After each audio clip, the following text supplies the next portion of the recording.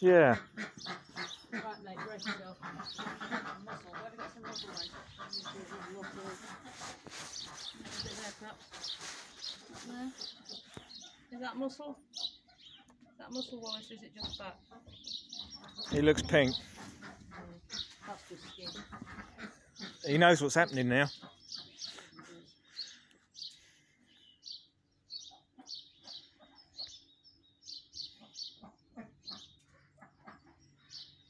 Ah, this bit. That's better, isn't it?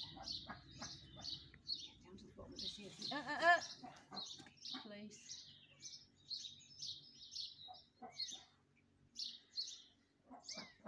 You have to be careful that you don't into tendons. Because he's not got a lot of weight on him at the moment. He's been lying around all winter doing absolutely zilch, haven't you, Poppet? Because I haven't bred to him this year. Right. So it's. Uh, And in it goes. Stay still. Oh. He doesn't like that. Is there anything I can do? Um, no,